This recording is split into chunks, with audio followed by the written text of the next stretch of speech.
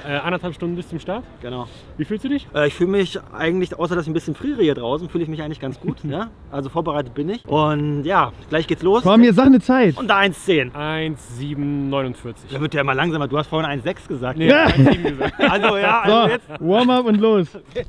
Und hier sind wir beim High Rocks Edition 2 von Johann. Genau. Sind nicht hier beim Warm-up?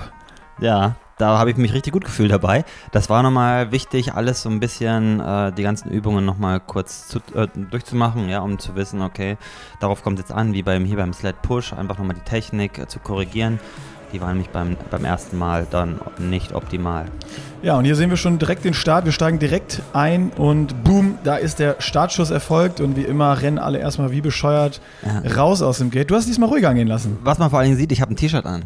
Ja. Ich habe mich noch nicht getraut, ja. Ähm, die anderen Jungs, die oberkörperfrei waren, die äh, sind dann doch nochmal ein bisschen fitter. Unter anderem Golo hier, Golo Röhrken, wer ihn kennt, ja, Top-Mann, ähm, Top-Trainer.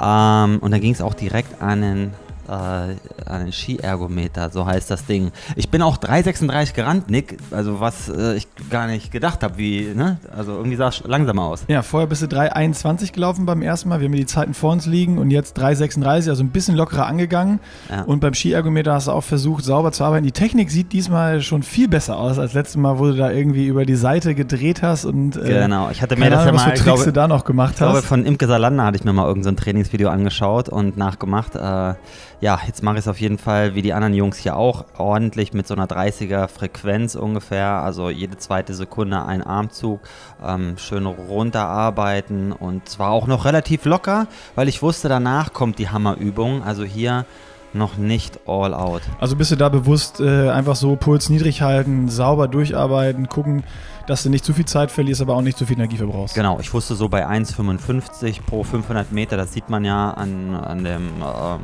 Display, da wollte ich ungefähr bleiben und ähm, genau nicht überpacen, das war halt wichtig. Ich habe so ein bisschen geschaut, auch wie die anderen da gelaufen sind und ähm, ja, das ging eigentlich noch relativ gut.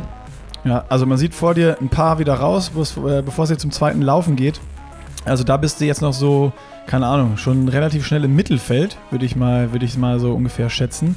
Äh, und beim Laufen bist du aber schon wieder, hast dich nach vorne gearbeitet. Das finde ich immer ganz spannend beim High Rocks. Also da gibt es dann doch riesen Unterschiede äh, bei denen, die laufen können, die, die nicht laufen können. Und klar, ganz vorne, die, die können alles. Ja. Ähm, aber so unter den, unter dem, im hinteren Drittel, sag ich mal, oder ab der Hälfte, äh, da sind welche, die machen die Übung super schnell, können aber nicht laufen oder andersrum. Äh, also Wie das ist, er hier, Wahnsinn. Er hat, glaube ich, auch so eine, ähm, genau, so eine Beinschiene gehabt und hat es trotzdem durchgemacht.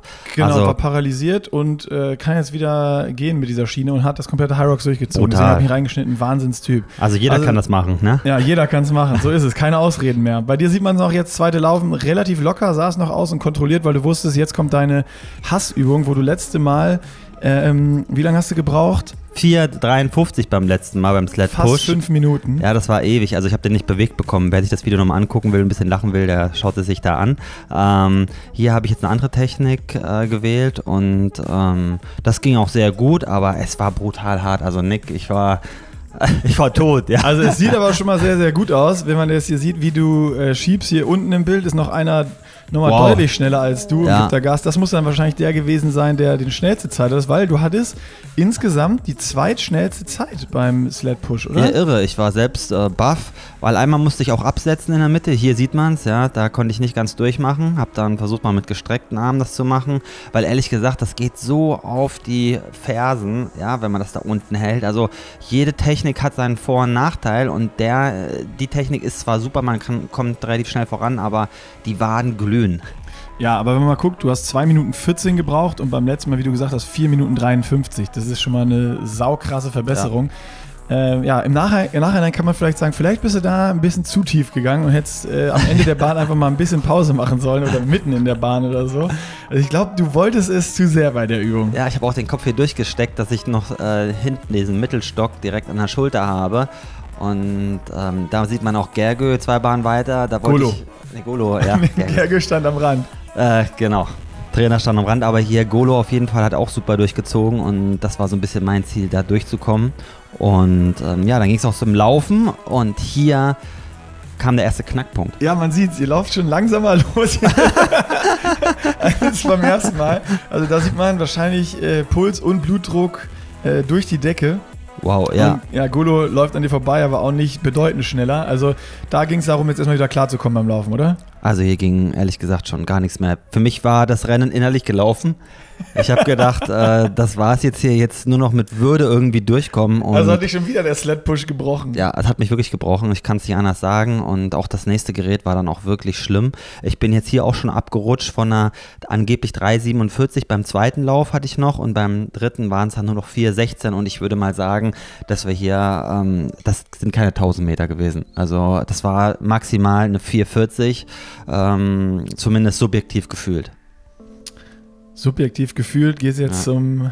Objektiv geht es jetzt zum Sled Pull, vom Sled Push zum Sled Pull und äh, ja, da sieht man dann auch schon, dass da schon ordentlich Körner bei dir gelassen worden sind. Also äh, beim halben High Rocks im Powerhouse hast du es da deutlich smoother durchgezogen und ähm, was mir noch aufgefallen ist beim Filmen, hier hast du noch am Anfang die komplette Breite, diese zwei Meter, überhaupt nicht genutzt. Wurde im Powerhouse noch so, ja, ich darf zwei Meter gehen, jetzt bist du ja, hier, auf einmal ja. hast du maximal noch einen Meter genutzt.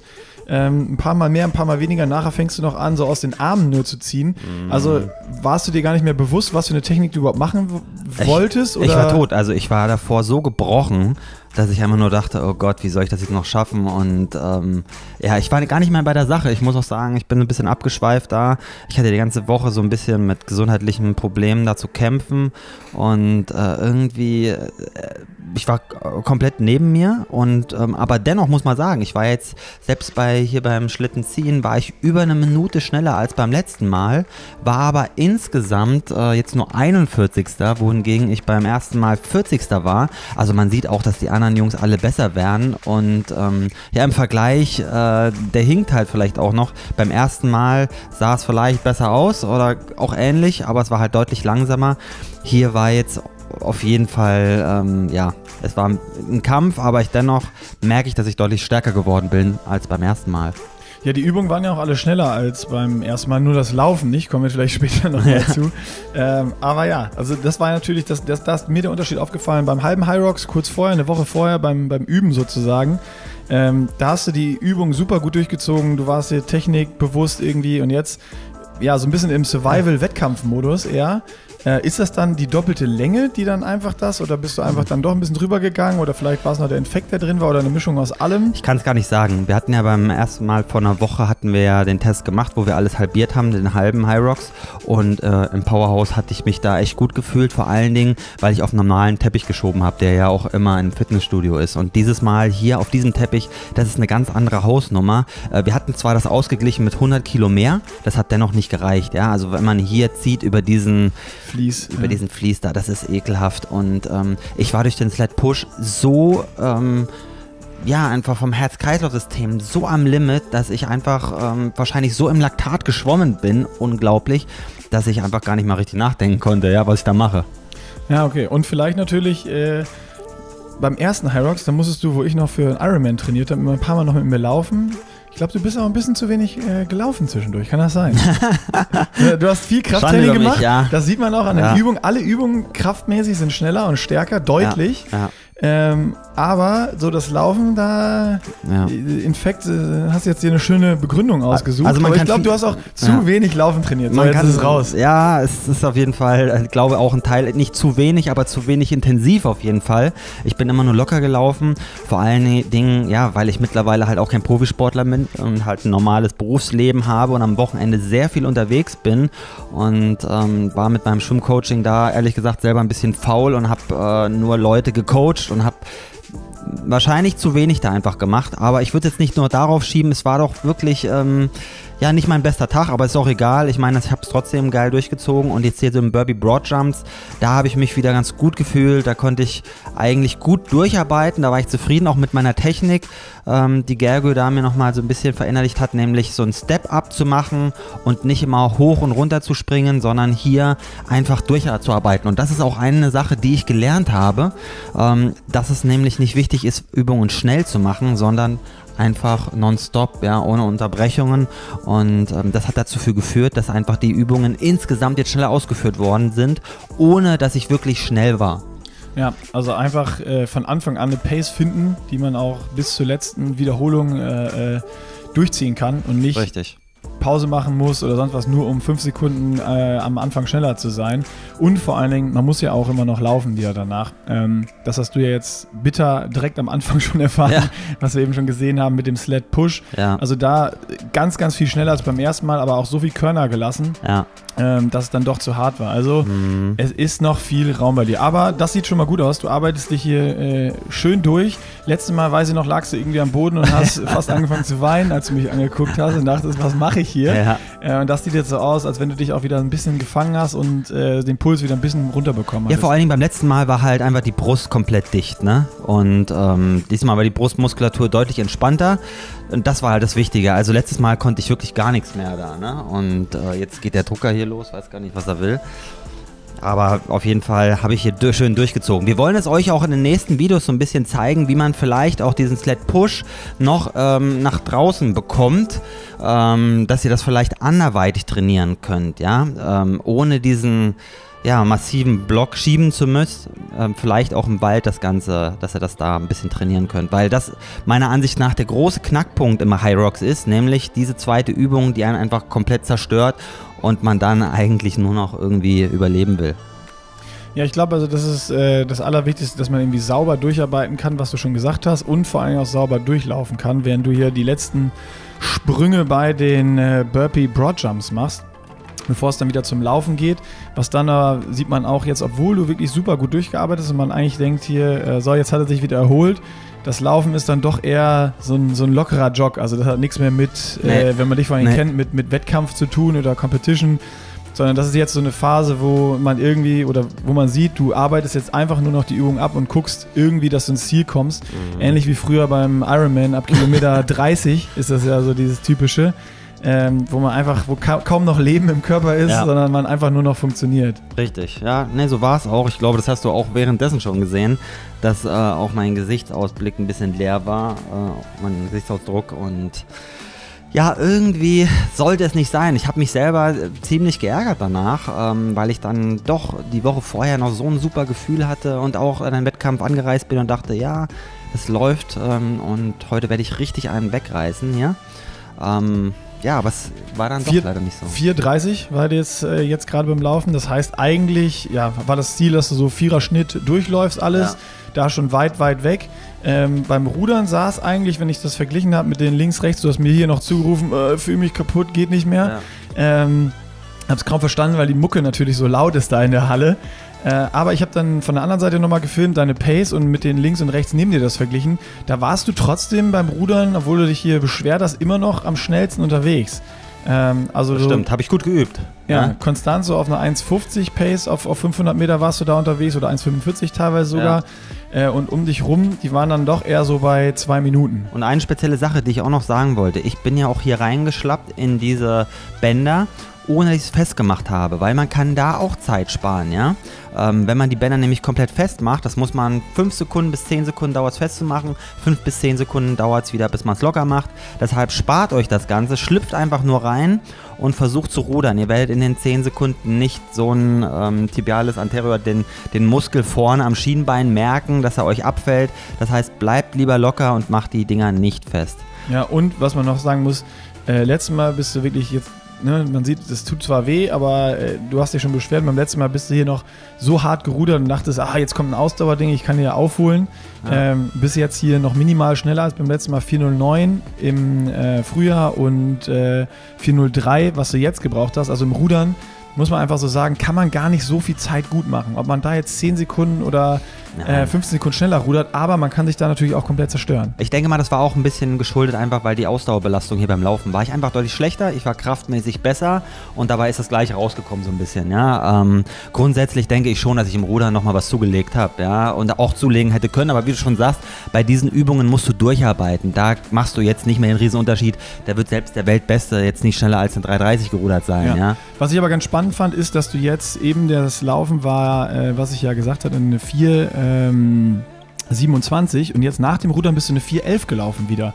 Also das heißt, da sieht man schon, dieses, wenn es nicht zu sehr kraftlastig wird, obwohl du dich da stark verbessert hast, konntest du dich bei diesen Ausdauersachen doch wieder so ein bisschen erholen und dann war das Laufen auch direkt wieder besser. Also Äh, da kann Nick, man schon absolut. bei dir ganz eindeutig eine, eine, eine, Progression sehen. Ja, Genau. ja, nee, so absolut, so war es auch. Und da habe ich mich beim ersten Mal wieder etwas besser gefühlt, weil ich keine Kraftübungen gemacht hatte. Und jetzt kam hier das Farmers Carry und das war wieder hart. Ich muss sagen, mein Ziel war es, irgendwie nur ein bis zweimal abzusetzen. Ja, das ist das Schwierigste bei, ne? dass du einfach die Griffkraft in der Hand, ich meine, das Gehen Ja. ist kein Problem und in den Schultern, das geht auch irgendwie, aber die schweren Kettlebells mit 32 Kilo je Kettlebell Mhm. einfach über so eine lange Strecke zu halten, über 200 Mhm. Meter mit immer hier um die Kurve laufen, ähm, das ist schon, schon Ja, echt hart. ich habe es geschafft, ohne einmal abzusetzen, habe ich das Ding durchbekommen. Also da bin ich schon ein bisschen stolz auf mich. Was ich merke, als Schwimmer habe ich einfach so laxe Schultern. Ich halte das nicht ordentlich fest und ich kann nicht auch nicht richtig laufen mit. ja. aber eine Minute schneller als beim letzten Mal. Also Ja, auch absolut. eine krasse Verbesserung. Nur Ja. dadurch, dass du auch wieder sauber durchgearbeitet hast, dass du es geschafft hast, das Richtig. durchzuziehen, ohne abzusetzen. Also da muss man sagen, klar, das war eine schöne Progression und ich denke, da geht noch ein bisschen mehr. Ich habe gesehen, die Jungs hinter mir, die sind deutlich schneller mit den Gewichten gelaufen als ich, aber für mich war es dann erstmal durchkommen, ja. Äh, kommt ja vielleicht nochmal nächstes Mal, hoffentlich. Genau, und äh, auch da laufen wieder eine 418, also auch eigentlich nochmal wieder im Vergleich zu dem davor ganz okay. Und jetzt kommt natürlich nochmal eine Killerübung, Sandbag Launches. Die Killerübung. Also ich muss sagen, das war auch die Übung, die mich letzte Woche so richtig rausgebracht hatte, wo wir den halben High Rocks gemacht haben. Äh, man denkt immer so, ja, ein paar Ausfallschritte, das geht immer, aber... Aber man sieht, wie schwer das Ding ist. Du Oh, kriegst es kaum auf. auf die Schultern. ja, Äh, und ab geht's. Und du hast jetzt hier die Technik gewählt mit Zwischenschritt. Ist Ja. natürlich ein bisschen langsamer als äh, komplett durchzugehen. Der hinter dir macht's genauso.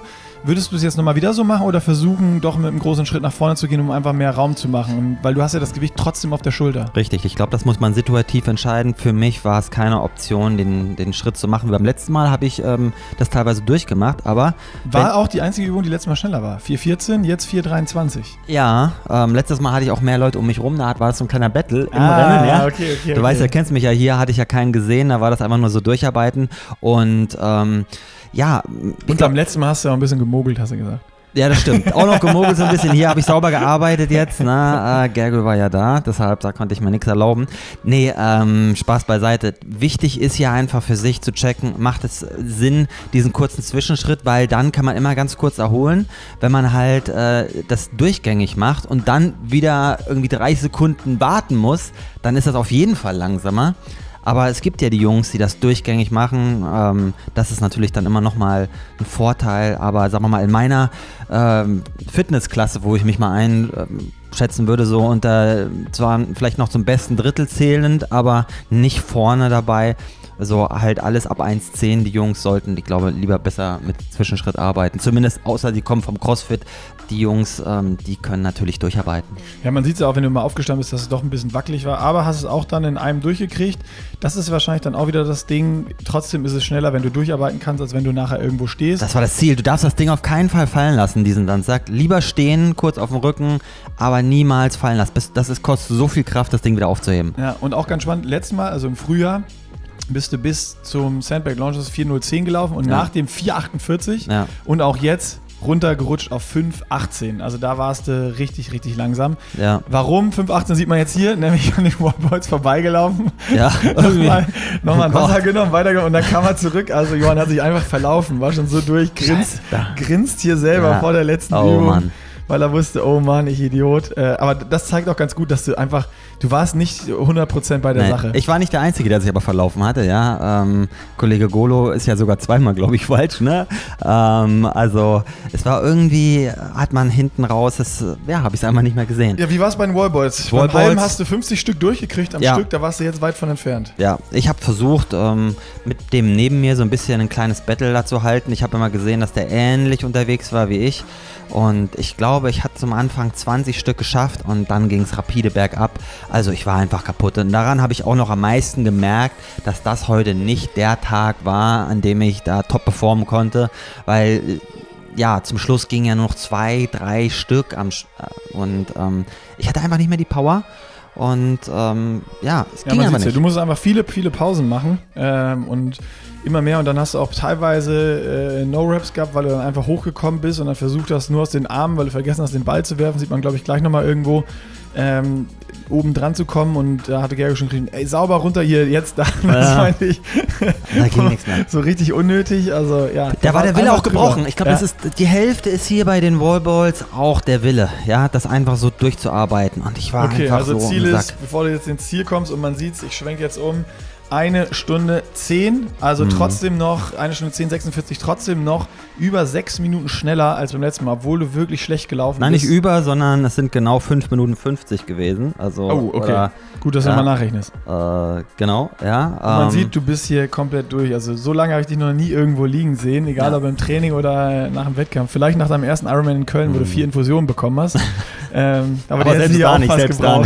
nicht. Also, ja, ich war wirklich kaputt. Also, das war wirklich nur Wille durchzuarbeiten. Ich muss auch sagen, ähm, hätte ich dann, hätte ich so einen Trainingswettkampf gehabt, hätte ich es, glaube ich, nicht gemacht. Ja, hätte ich nicht durchgezogen. Ja, dann äh, kommen wir hier mal zum Ende, weil äh, es gibt noch einen Abschluss mit dir und Gerge, wo ihr so ein bisschen Fazit zieht und äh, nochmal ein bisschen Ausblick gebt, wohin es dann geht und äh, was in Zukunft noch kommt. Und dann äh, hoffen wir mal, dass du beim nächsten Mal wieder vernünftig laufen kannst, Johann. Definitiv, das werde ich. Das war was, ey.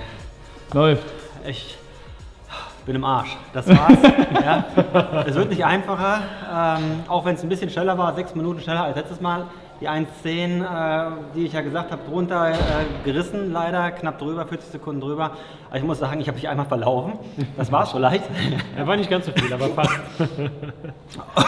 Also, ihr merkt, äh, ich habe alles gegeben, war ziemlich kaputt. Ähm, nochmal summa summarum, äh, das Laufen li- lief einfach diesmal nicht. Ich war deutlich langsamer, aber die Übungen an sich waren geiler. Ich habe alles durchgemacht, außer das, äh, den die Wallballs. Ähm, ja, muss ich sagen, habe ich auch gelitten. Insgesamt Fazit, äh, ja, einfach heute war nicht so ganz mein Tag. Also letztes Mal war es subjektiv ein besserer Tag für mich.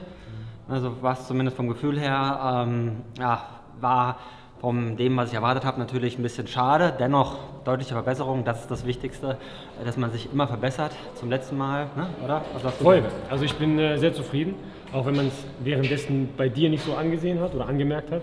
Aber der hat, äh, Johann hat sich bei allen Kraftübungen oder bei allen einzelnen Workouts verbessert. Also deutlich.